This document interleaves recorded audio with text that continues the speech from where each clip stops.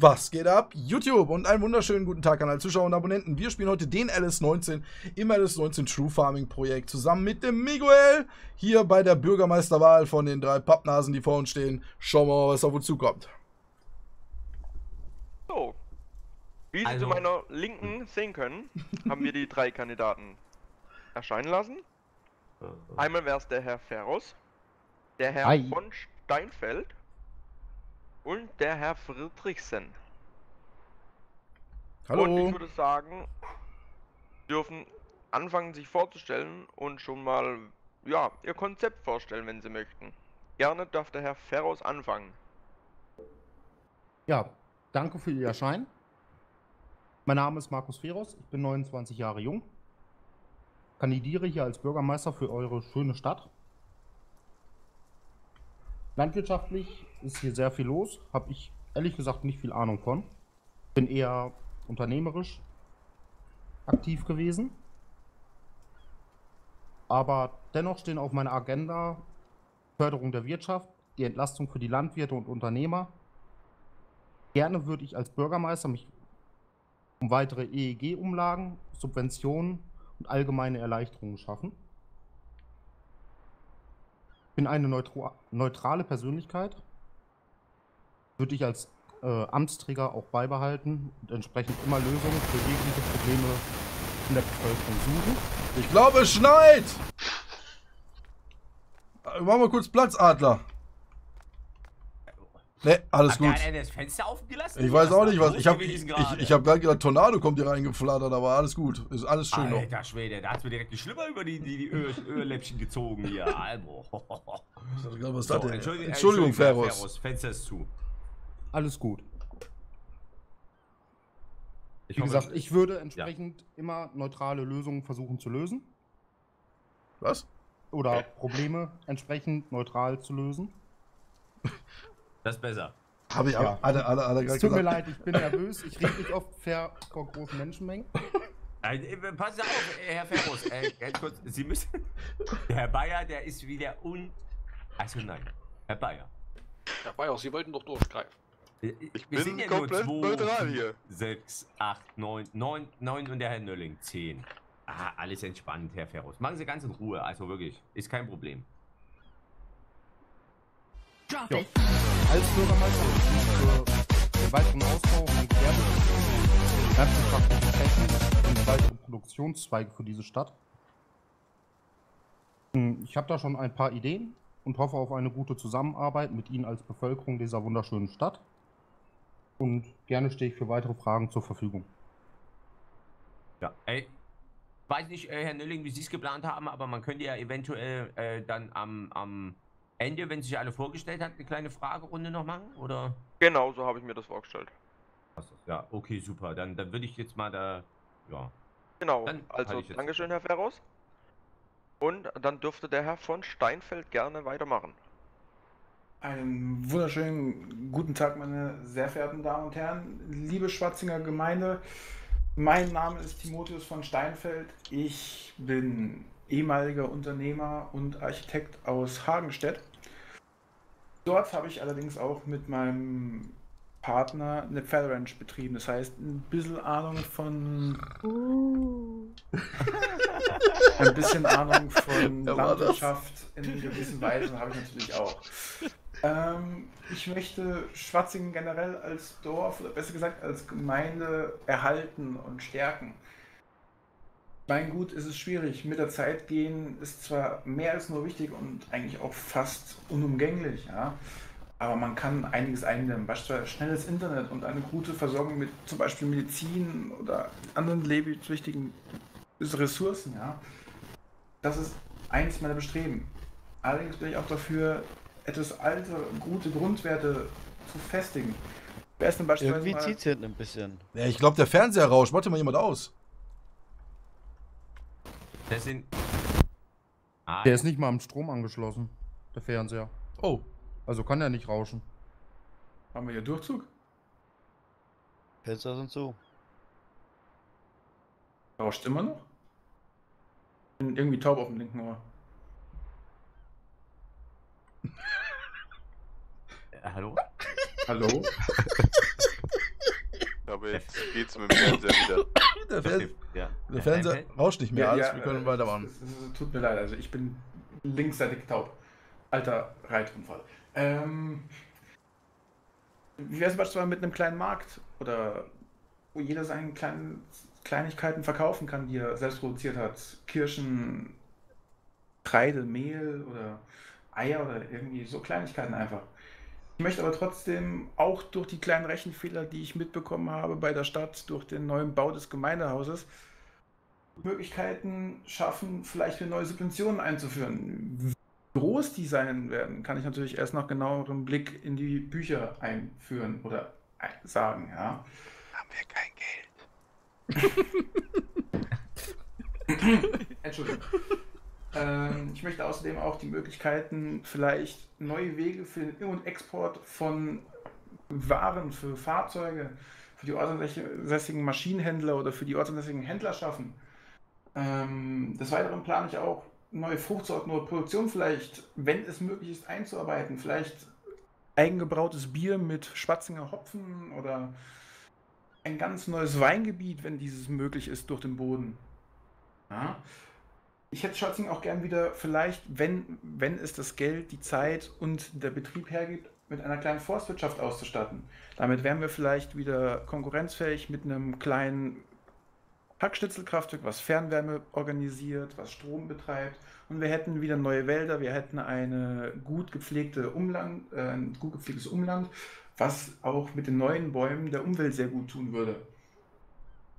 Ich meine, Veranstaltungen, Feiern sollten vielleicht dabei auch nicht zu kurz kommen, denn nur wer Freude und Spaß hat, hat ein erfolgreiches und in dem Fall dann auch ein erfülltes Leben. Ich meine, Amen. ich habe jetzt, wollte gerade sagen, ich habe jetzt sehr viel geredet und vielleicht auch äh, war jetzt nicht unbedingt all das dabei, was ich wahrscheinlich alles im Kopf habe, was ich erreichen möchte und den anderen helfen möchte, aber ich würde mich freuen, wenn ihr mir eure Stimme geben würdet und ich bedanke mich für eure Aufmerksamkeit. Ja, Dankeschön. Dankeschön für. Danke, Herr Steinfeld. Ja. So, Vielen, vielen Dank. dann wären wir schon bei unserem dritten und letzten Kandidat, der Herr Friedrichsen, bitte. Hallo. Darf ich, Herr Nölling, darf ich noch ganz Ja. kurz was zwischenwerfen? Ja. Kurze, Ja. du musst in dein, dein Ole arbeiten. Während der Wahl hier. Was? So, muss in der arbeiten. Wer muss arbeiten? Ja, dein Mitarbeiter. Warte ganz kurz. Ole? Jo, Wo bist denn du? ja, ich sitze auf dem Klo. Ich komme direkt. Hast du noch gearbeitet? Ja, ich war direkt fertig hier und da saß ich im Container, die Tür klemmt und jetzt muss ich raus und dann will ich wieder rein und jetzt muss ich noch sitzen bleiben, bis ich fertig bin, ne? Ich kann jetzt so. Oh, Ich komme aber sofort. Alles klar, Ole. Entschuldigung, weiter geht's. Kein Problem. Ich dachte, der wäre hier. Ja, wenn du noch lachen kannst, ist ja alles in Ordnung. Ja, der hat gearbeitet, ich kann mich nicht beklagen, läuft. Harry, hast du Kekse? Nein. Ich So, hallo meine lieben Bürger. Mein Name ist der Peter, ich bin Peter Friedrichsen. Ich würde gern euer Bürgermeister werden. Ich habe mehrere Ziele mit der Stadt. Ein paar davon will ich euch kurz vorstellen. Und zwar mein erster Punkt auf der Agenda ist, ich möchte mehr Tourismus nach Schwarzing bringen. Oh, Einige oh, von oh. euch denken jetzt bestimmt, oh mein Gott, Tourismus, das hat ja gar keinen Nutzen für Sie Landwirte, sondern nur für die Stadt, Zwecksteuernahmen etc. Aber genau das will ich nicht. Ich will den Touristen anbieten, bei ihnen, den Landwirten, zu arbeiten und den Leuten aus den umgebenden Großstädten zu zeigen, dass die Milch eben nicht schon fertig aus Flaschen aus der Kuh kommt, dass Strom zum Beispiel nicht nur mit Atom und Kohle erzeugt werden kann, sondern auch mit einer BGA und dass bis das alles vom Feld auf ihrem Teller landet, ein menschliches, maschinelles und logistisches Meisterwerk ist. Mein zweiter Punkt ist, ich will vor allem die kleinen Landwirte unterstützen und denen unter die Arme greifen, wenn sie bestimmte Herausforderungen, äh, Voraussetzungen erfüllen, wie zum Beispiel, wenn sie sich anstrengen fürs Tierwohl, wenn sie nachhaltige Landwirtschaft betreiben. Und zu guter Letzt habe ich vor, einen Agrarfonds einzuführen. In dem kann jeder Interessierte einzahlen und damit kann man Bauern unterstützen, die zum Beispiel klimabedingt ihre Ernte verloren haben oder bestimmte Anschaffungen tätigen müssen, um wettbewerbsfähig zu bleiben. Somit glaube ich, dass sowohl den Landwirtschaften als auch der Gemeinde Schwarzing geholfen ist, dass wir eine florierende Wirtschaft haben und einen florierenden Tourismus. Ich habe noch weitere Punkte auf meiner Liste, dazu aber dann später mehr und ich würde mich bei Ihnen bedanken und sagen für ein großartiges Spazingen. Gut, vielen Dank, Herr Friedrichsen. Moin! Was verpasst? Ah, guten Tag, Herr Blum. Sind Sie auch Grüß da? Gott! Schön, schön. Setz dich Entschuldigen, ohne. Durchfall. Ihnen Also das ist gut, halt wirklich, gut. also ganz ehrlich, die zwei sind, äh, ja, wir sind die Arbeiter vom Dienst.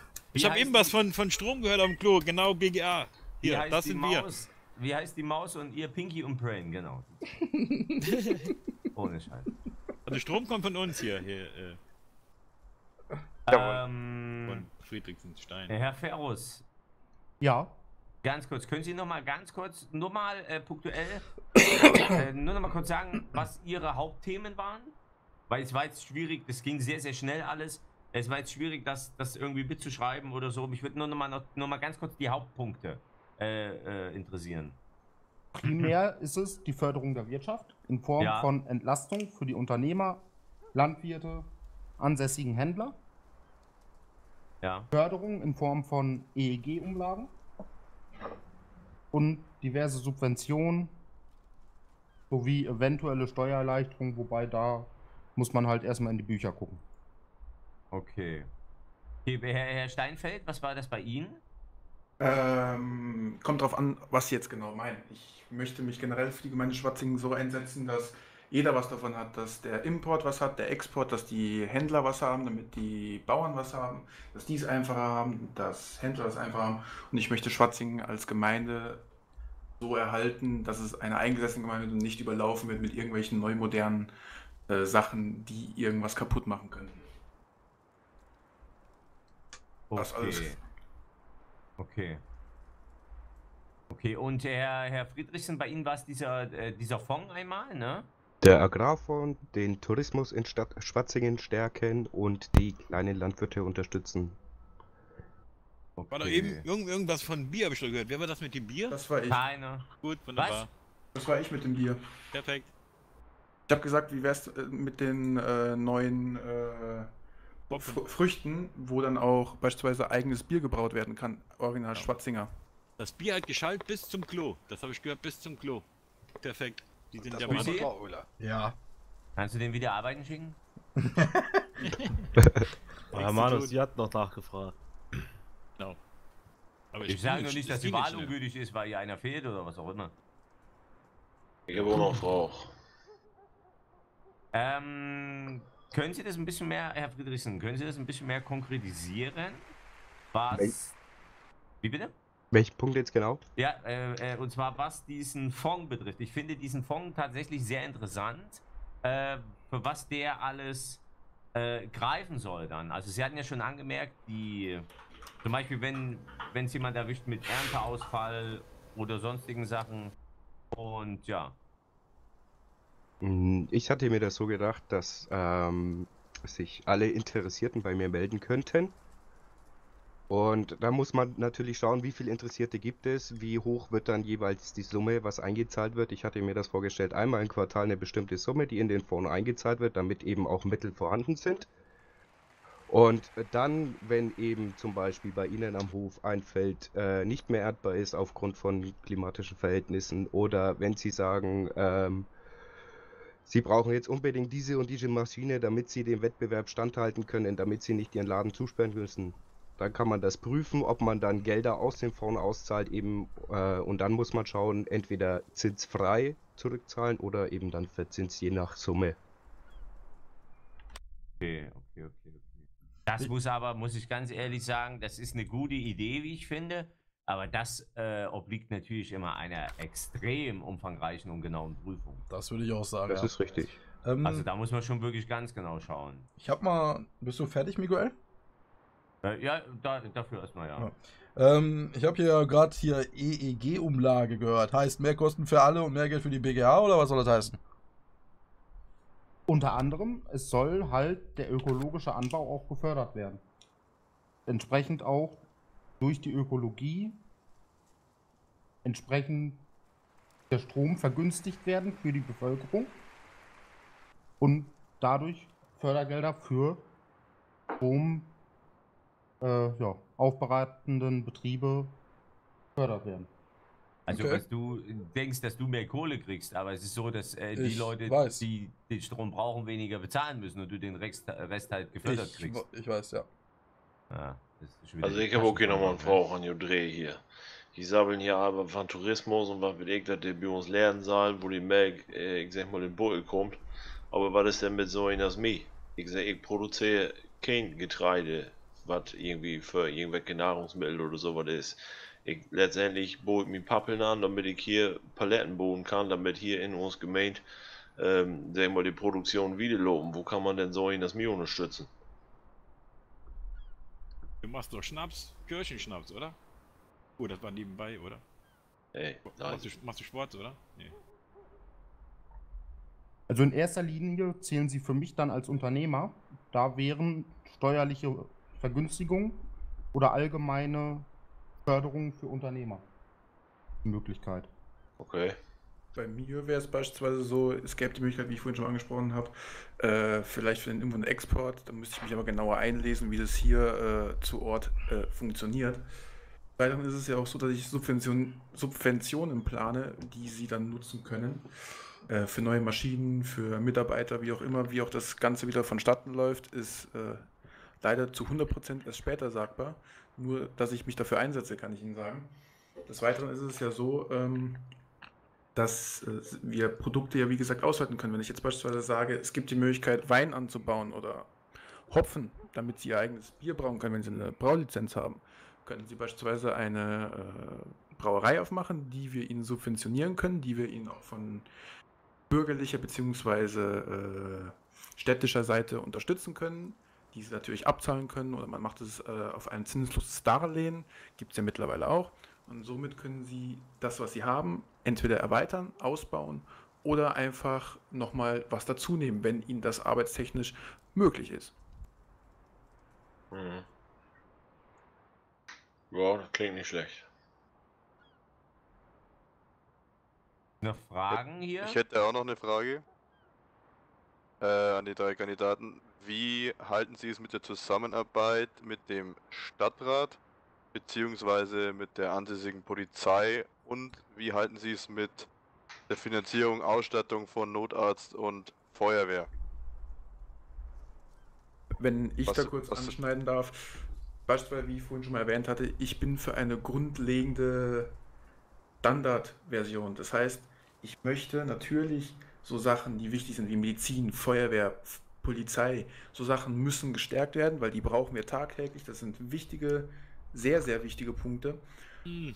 Und ich meine, der ein oder andere hat vielleicht ein Problem damit, wenn er mal mit 50 in der 30er-Zone aufgehalten wird. Ich meine, ich bin jetzt auch kein, kein Mensch mit Heiligenschein, wo ich jetzt sage, okay, gut, äh, ich, ich halte mich zu 100% an alles, was jetzt, bin ich ganz offen und ehrlich. Ähm, Zu wissen? Bitte? Gut zu wissen. Ja. Sie dürfen mich gerne mal kontrollieren, Herr Bayer. Ähm, Alles klar. Und ich sage jetzt mal so, Teamarbeit mit Stadtrat und sowas, das ist wichtig. Und nur als Team kommen wir voran. Ein Mensch allein kann nicht so viel bewegen wie ein ganzes Team. Das Team ist wichtig. Das heißt, alle müssen miteinander spielen. Die Gemeinde, der Stadtrat, die Ämter, die Feuerwehr, die Polizei, der Notarzt, die müssen alle miteinander zusammenspielen. Und das ist das, worauf ich setze. Das Team. Wir können und müssen miteinander zusammenarbeiten. Und ich bin einer, ich möchte miteinander zusammenarbeiten und ich möchte auch im Team arbeiten. Denn nur so sind wir stark. Wenn ich da nochmal was dazu sagen kann. Ja, ganz kurz eine Bitte nur. Kann derjenige immer fortreden, der gerade spricht? Ja, damit man weiß, ja. ja.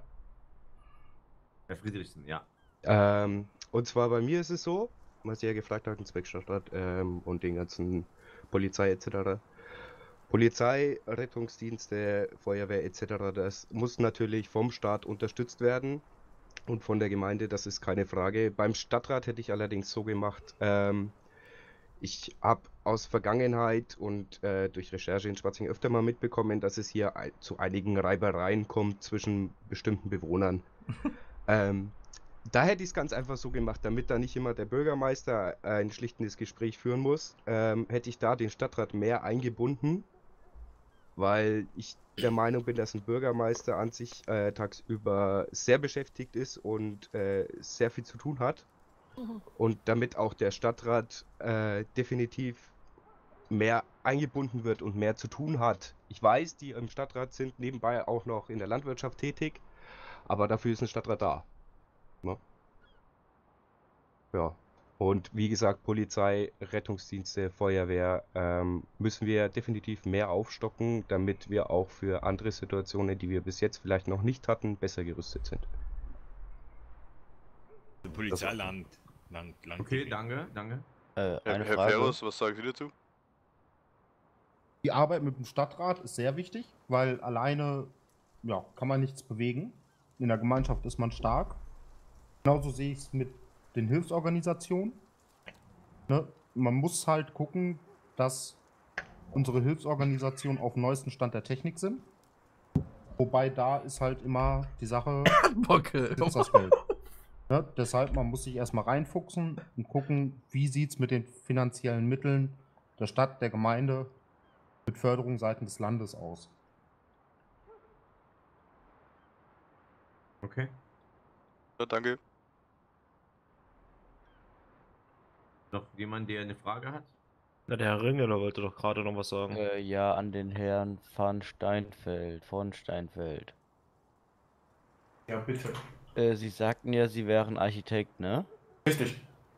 Das heißt, dann würde die Stadt ja Geld sparen wieder, indem sie die ganzen äh, Gebäude, die eventuell hier entstehen, ja selbst planen könnten und wir keinen extra Architekt dafür beauftragen müssten. Das heißt, die Steuergelder würden gespart werden. Richtig, so ist das. Ich könnte rein theoretisch, da ich dafür einen Lehrgang gemacht habe, auch äh, fair und einmessen. Das heißt, ich kann jetzt beispielsweise, wenn Sie, Herr Ringele, sagen, Sie möchten eine Hoferweiterung, kann ich Ihnen auch alles fair und einmessen und kann da direkt den Plan draus machen, den wir dann dem Stadtrat vorlegen können zur Begutachtung, ob wir diesen so stark geben können. Das Aber heißt, haben man Sie da auch Zeit als. Bürgermeister? Ich sage jetzt mal so, als Bürgermeister in einer Gemeinde, wo der Stadtrat mitarbeitet, wo die Bürger was dafür tun, ist immer genug Zeit, anderen zu helfen, ist immer genug Zeit für den anderen da zu sein und ich werde auch die Zeit finden, dies zu tun, denn als Bürgermeister bin ich nicht nur da, um Bürgermeister zu sein, um Papierkram zu machen, sondern ich werde auch draußen rumfahren, den Leuten helfen, wo es nur geht. Mutig, mutig. Das sind Gott, das große war's. Worte für. Aber die Knöllchen machen die, die bezahlen sie aber dann selber, ne? Meine Knöllchen bezahle ich selber, das ist Gut. richtig. Der von uns auch, dann bist du mein Mann. Herr Schlag, soweit ich das mitbekommen habe, verkaufen Sie Kirschen. Und soweit ich das auf der Karte richtig gesehen habe, sind die Kirschen auf einem Berg. Da ist doch normalerweise eh keine Polizeikontrolle. Herr Bayer, vielleicht sollten Sie dies nicht einführen. Sollte ich nicht einführen? Hast du noch einfach sehen kommt. Also irgendwas sollst du irgendwo einführen, hat er Sollst gesagt. du was Ja, ich habe auch einführen, ja. Ja, ja. gehört, dass ich irgendwas Nee, nee, nee, einführen ich wollte soll. nichts einführen und du hast noch nichts gehört, nur halt immer still davor, ne, ich könig noch was. Herr Schlag, Ja, führen Sie, führen Sie sich heimlich Kirschen ein? nee, Nee, nee. für die übernehmen. Herr Schlag? So nicht. Wir haben hier ein paar Zellen, gell? Können Sie mal von innen anschauen. Hm, kommt's mir noch an. Diese Zellen, die wir haben, sind übrigens sehr gut ausgestattet, habe ich mir sagen lassen. Ich habe versucht, vorhin ein Micker, Mickerchen darauf zu halten. Wer? Ich Also habe vorhin versucht, ein Nickerchen in der Zelle zu schon mal halten. Probe liegen oder was? Es sind sehr weiche Betten, muss ich dazu sagen. Kostet Ja, das sind 53 keine Zellen, das sind halbe Hotelzimmer hier. Da müssen wir eh da mal mit der Stadt reden, was Ich da meine, der. Plasmafernseher ist größer als den, den ich zu Hause in der Villa stehen habe. Oh, noch ein Plasmafernseher? Eieiei. Sie haben eine Villa? Ja, eine kleine. Mit, mit, mit Pool? Nee, mit See. Bikini Boy, äh, Bikini, Bikini, Ja, Bikini. Bikini Bottom, da kommst du her. Erzähl. Du hast doch nicht im Grund. ich, Hast du nicht im Obwischen. Biki, Bikini Bräute auch da? Ja, Ich weiß nicht, Sie können es ja mal ausprobieren. Sie können ja mal ähm, fahren. hat noch irgendjemand, hat noch jemand eine Ja. Frage jetzt hier? Ja, ich hätte dann auch noch eine, aber der Herr Jäger. Ja, und zwar an den Herrn Steinfeld. Sie hatten ja vor uns das Thema äh, Forst mit angesprochen. Richtig. Was genau haben Sie äh, sich denn da vorgestellt? Also, ich habe mir vorgestellt, äh, wieder eine Forstwirtschaft aufzumachen. Das heißt, das Abforsten und Aufforsten von Wäldern, was ja für die Umwelt nicht nur wichtig ist, sondern auch was Umsatz bringt, was Arbeitsplätze schafft und dadurch vielleicht auch durch ein eigenes Kraftwerk zu Energie und zu Fernwärme produziert wird, was wiederum heißt, wir produzieren unsere eigene, eigene Energie, müssen nichts von irgendwoher weit herkarren, wir produzieren unsere eigene Wärme, müssen nicht von irgendwoher teuer Gas. Wow, wow, wow, wow, wow, wow. aus- Nein, nein, Was? stopp, stopp, stopp, stopp, stopp. Ich meine nicht Biogas. Ähm, Brezel, Bier und so traurig. es gibt auch Butan, Den Propan Leute- aus anderen Möglichkeiten. Genossenschaft, den wählen Ja. wir nicht. Moment, ich war eingeschlafen. Wer? Ey, Wen soll ich was das hier? Was ist das Ähm, Nee, des Weiteren nee. ist es ja so, dass ich ja eigentlich dafür da bin, das Alte zu wahren und das Neue vielleicht auch mit einzuführen. Wie gesagt, Ja, dieses bin- Kraftwerk kann nicht nur Arbeitsplätze schaffen, sondern wird ihnen allen gut tun, indem sie regional eine Stufe höher, was den Strom noch angeht, arbeiten können. Da können viele Firmen ineinander greifen, vielleicht sogar aushelfen, vielleicht eine etwas größere Sache draus machen und wir könnten da wirklich drüber Projekte große schaffen. Abforsten, aufforsten, das ist ein großer, großer, großer Bereich im Wald. Ich sehe unsere Gewerbe in Gefahr. Also ich sehe ich Meine- sehe so, dass meine- meine- her müssen. Meine 400 Stimmen im Kopf sind halt auch ganz, ganz, ganz kritisch gerade. Gar nicht gut. Ich Oh, werde arbeitslos werden. Alter. Wir sind am Arsch, ohne. Arbeitslos und dann? Wo soll ich denn hin? Ja, Keiner von ihnen wird auch- arbeitslos. Können wir vielleicht auch die anderen zwei zu Wort kommen lassen? Ich hab doch nur einen Container. Ja, dann äh, geht es dort mal abtrocknen. Ähm, äh, meine Herren, und äh, zwar Herr Friedrichsen, ich habe da mal noch speziell an Sie eine Frage und dann nochmal an alle drei. Ähm, und zwar, Herr Friedrichsen, Sie hatten ja erwähnt, äh, Sie würden auch kleine Landwirte unterstützen. Da würde mich mal interessieren, ob Sie da nur speziell die kleinen Landwirte unterstützen oder wie es da auch äh, eventuell mit Kleinbetrieben aussieht und inwieweit äh, Sie sich das da genau vorstellen. Na, mir geht es hauptsächlich darum, dass äh, es in Schwarzing nicht nur Bauern gibt, die Millionär, äh, Millionäre, Milliardäre sind, sondern äh, dass es auch andere Bauern gibt, die, sage ich mal, vielleicht nicht so glücklich sind. Mir geht es darum, ich subventioniere gerne Höfe, wo ich sehe, da wird was fürs Tierwohl getan. Und damit meine ich nicht eine artgerechte Tierhaltung, weil die ist ja sowieso schon Voraussetzung sondern da sage ich zum Beispiel, dass vielleicht in einem Kuhstall nicht 300 Kühe auf einem Fleck stehen, sondern dass man dann vielleicht drei Kuhställe baut, damit die guten Tiere auch ein bisschen Platz haben. Ah, Oder okay, also, eben- also quasi, quasi so Massentierhaltungstechnisch, das wollen Sie. Also das, das finde ich gut. Das finde ich gut, Herr Friedrichsen. Ja, ich sag mal, Massentierhaltung sowieso ist jetzt nicht so toll, aber wenn ein Landwirt auf mich zukommt und sagt, er hätte gerne eine Subvention, dann schaue ich mir diesen Hof natürlich an und Ja. entscheide dann, ob er eine bekommt oder nicht, weil ähm, wenn jetzt ein Landwirt zu mir kommt, der schon 300 Schafe hat und sagt, er würde gerne einen Schafstall bauen, um nochmal 300 reinzuklatschen, dann denke ich mir, okay, ist vielleicht nicht so gut. Das sehe ich genauso wie Sie. Dann, meine Herren, an Sie alle drei habe ich mal Stopp. noch äh, die Harry, direkte Harry, Frage. Harry, Ja? Harry, was war denn mit dem Herrn Ferros? Der sollte, sollte nicht auch noch was sagen? Äh, an den Herrn Friedrichsen hatte ich nur die Frage und dann äh, eine Frage an alle drei, wo Sie gern alle drei antworten können oder nicht. Wir waren erst noch mal kurz mit der Brauerei. Das war der. Ferus. Ja, ja, Nee. ja, okay, alles klar. Ja. Ich hatte keine Brauerei in meinem Konzept. Wenn ich das rausreden darf, das war ich mit der Brauerei. Ah, ja, okay, alles klar. Äh, ja, Harry, hau mal raus hier. Ja, also meine Frage an Sie drei, äh, meine Herren, wäre, es ist ja nun wie bei jeder Wahl, wir haben es ja nun auch schon oft erfahren, äh, viele sagen und versprechen und tun und machen und tralala. Ähm, verstehen Sie es nicht falsch, aber wir in Schwatzing sind halt mittlerweile eine wirklich eingeschworene Gemeinde, stehen zueinander und da fehlt uns natürlich äh, der wunderbare Bürgermeister vorne ran. Und ja, meine Herren, wie würden Sie sich denn äh, sag ich mal, am besten ins rechte Licht, äh, Licht rücken, um uns wirklich davon zu überzeugen. Denken Sie dran, wir sind gebrannte Kinder. Kann ich Du anfangen? auf jeden Fall. Sehr gern. Also, Nur zu.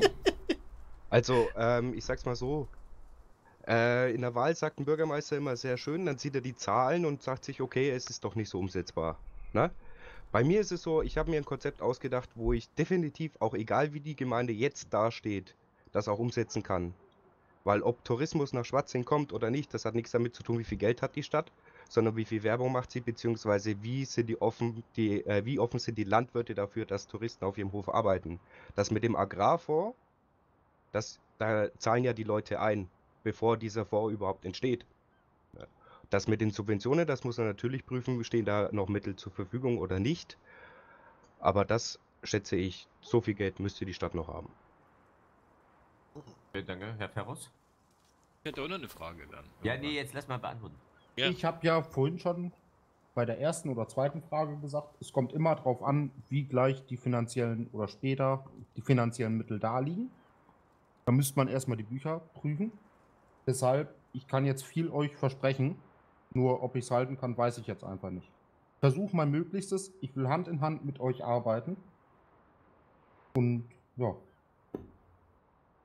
Tut mir leid, dass ich leider nur Versprechungen machen kann und jetzt euch nicht sagen kann, dass es klappt. Danke. Ich meine, gut, leere Versprechungen sind bei irgendwie jeder Wahl tatsächlich dabei, doch sind Versprechungen auch möglich, wenn man jetzt sagt, es ist nicht nur eine Versprechung, sondern es kommt aufs Ganze an.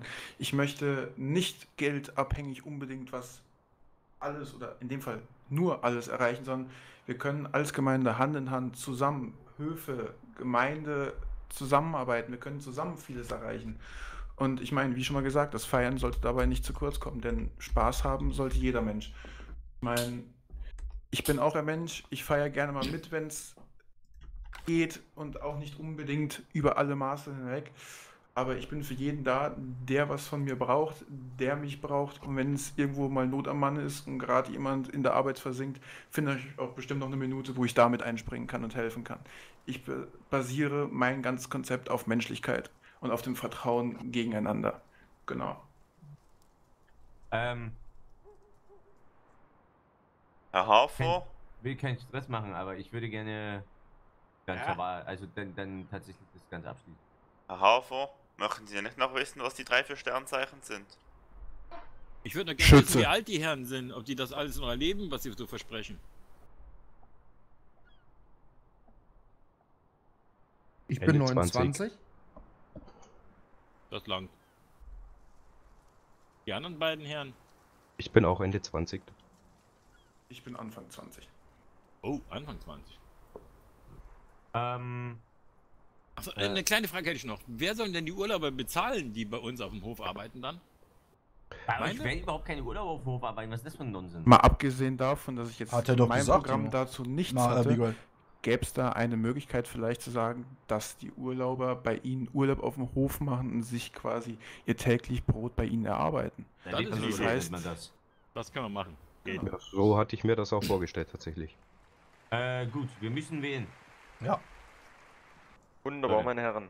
Gut, Dann meine lieben Freunde, wenn es euch gefallen hat, das Liken nicht vergessen. Schaut auf jeden Fall zur nächsten Folge vorbei. Wer wird Bürgermeister? Es wird spannend. Schaut auf jeden Fall bei Miguel vorbei. Alles unten in der Videobeschreibung. Und wir sagen Tschüss und bis zum nächsten Mal. Haut rein.